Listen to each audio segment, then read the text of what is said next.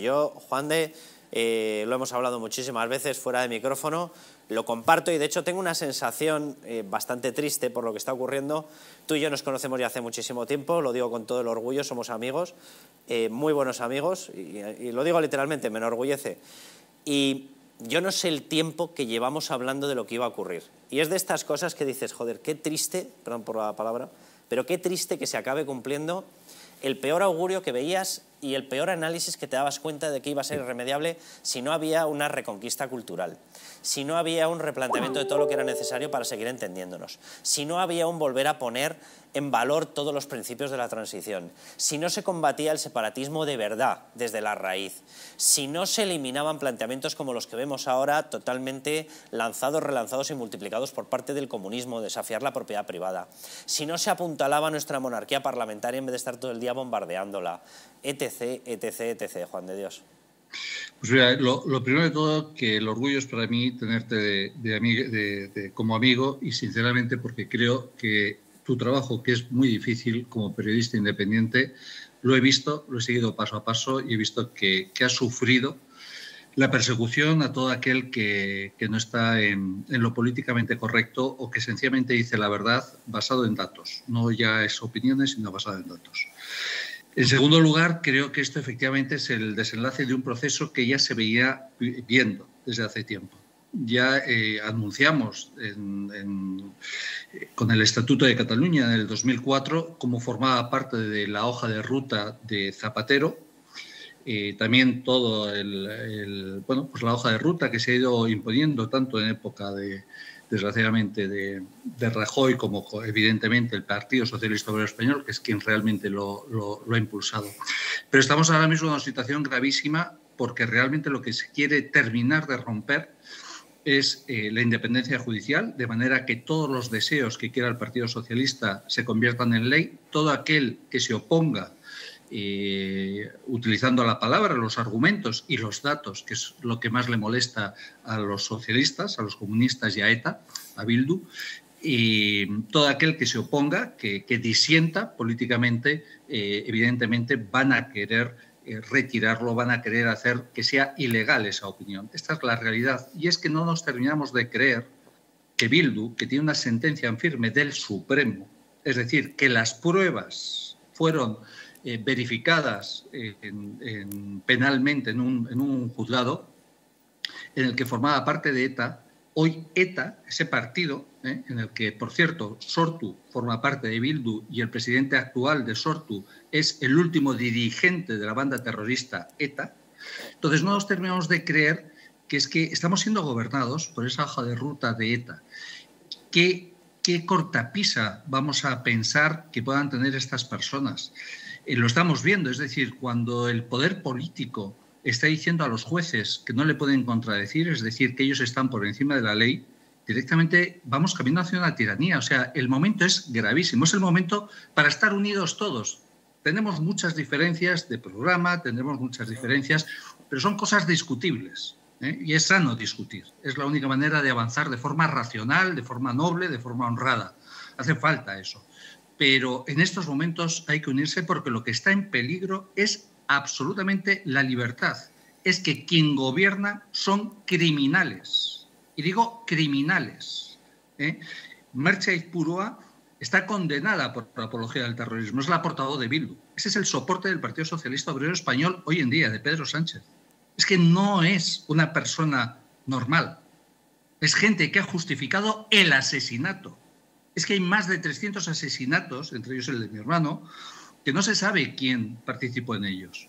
Y ellos sí que lo saben es que estamos en una situación gravísima. Cuando quieres romper la independencia del Poder Judicial, es que quieres tener el poder absoluto. Y cuando quieres tener el poder absoluto y se miente ¿eh? y, se, y, se, y, se, y se insulta a aquel que tiene que mantener la independencia, es sencillamente porque quieren imponer una tiranía. Es un momento gravísimo en el que absolutamente todos los partidos amantes de la libertad y de la unidad de España debemos estar unidos clarísimamente y, focalizados en esto que es el punto gordo. Luego tendremos diferencias que discutiremos, evidentemente, y, de forma muy razonable, y las discutiremos y, oye, intentaremos proponer. Pero es un momento para estar unidos porque lo que nos estamos jugando es la libertad y es la unidad de España. ¿eh?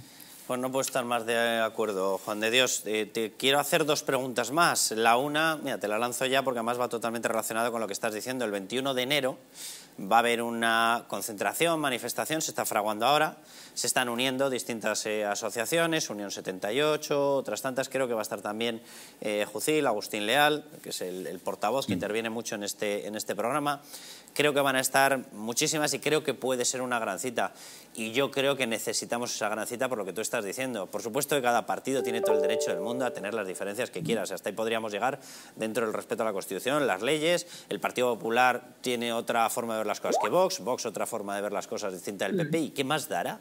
Pero si, efectivamente, si las dos formaciones claramente coinciden en el respeto de la unidad de España, de la Constitución, del Estado de Derecho, de los derechos y libertades, se acabó la historia. Efectivamente tenéis que estar unidos en esto y unidos a toda la, sociedad civil.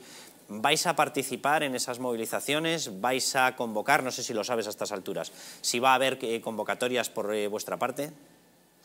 Yo no tengo ahora mismo el conocimiento de, la posición oficial, pero estoy absolutamente seguro que ahí estaremos y absolutamente seguro que, estaremos junto al resto de, la sociedad civil. Es fundamental no solamente los partidos, sino toda la sociedad civil. Esto es un problema de libertad es un problema de toda la sociedad, no es, no solamente los partidos políticos, que evidentemente tenemos que estar ahí, ¿eh? Pero es de toda la sociedad y el protagonismo es de la sociedad, es de la persona, es lo que está en juego, la libertad de, la persona. Esto tiene que ser masivo, tiene que ser un clamor popular y, tiene, y tenemos que pararlo. ¿eh? Esto, es una deriva, mm, ya es el, fin del proceso, el fin del proceso en el que el criminal, que ha estado gobernando también en Guipúzcoa, ¿eh? Guipúzcoa eh, han tenido la Diputación Foral, es decir, que aquellos que estaban siendo amenazados por ETA, tenían que pasarle toda la información fiscal a ETA. Esto, ha sido así.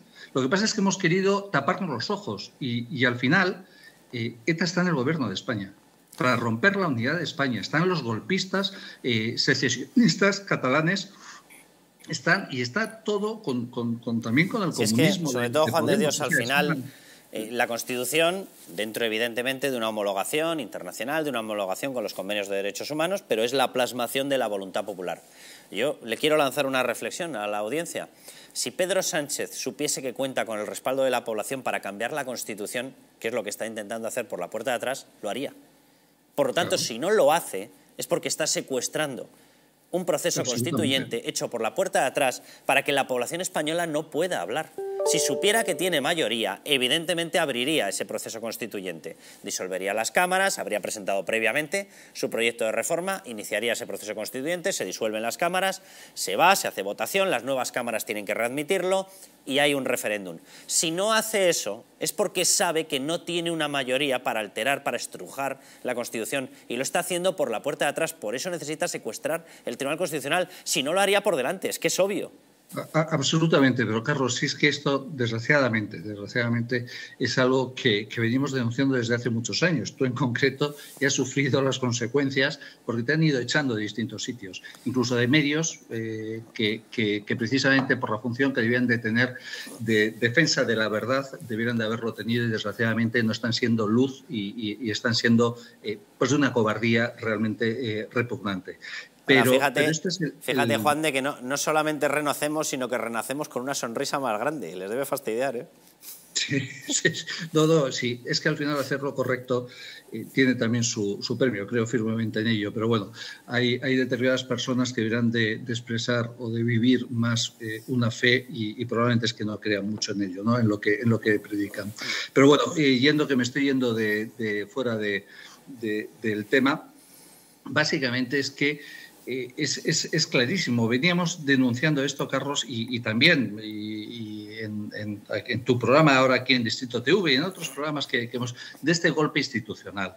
Es decir, ellos han cogido el CIS, han cogido eh, el Tribunal de Cuentas, es decir, están cogiendo todas las instituciones para que funcionen en función de los deseos de esta alianza socialista, comunista, terrorista, y, secesionista. Es esa es la conjunción, esa es, la unión de partidos que hay y están tomando las instituciones. Evidentemente, lo último que les falta es el Poder Judicial y, evidentemente, este órgano superior, que, es un, que no pertenece al, Poder Judicial, que es el Tribunal Constitucional, pero que también quieren eh, eh, tenerlo para que al final todos sus deseos sean ley y todo aquel que se oponga sea ilegal. Es que, es que vamos a ir a eso. Es que cualquier persona que disienta va a poder ir a la cárcel. Ese es el, final. Es una tiranía. Vamos camino de la tiranía. Por eso digo que es un tema, es un momento realmente crítico en el que tenemos que estar unidos por encima de diferencias que tenemos, todas muy legítimas y razonables y que podemos discutir, pero tenemos que estar unidos en lo esencial. Lo esencial es la libertad, es que seamos libres, iguales, todos los españoles en cualquier parte de nuestra patria.